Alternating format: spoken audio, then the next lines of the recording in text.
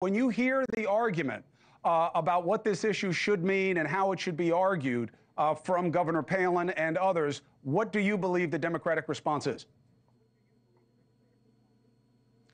Well, the response is simple. We had Roe versus Wade for many, many years. It was a right of women to make that choice with their bodies, and it's overwhelmingly popular. It explains Bill O'Reilly's point of why there is a gender gap. But there's another reason there's a gender gap, and that is uh, what some people find funny about Donald Trump and what find him engaging in locker room talk. Uh, it's offensive to a lot of women. I mean, that's just the reality.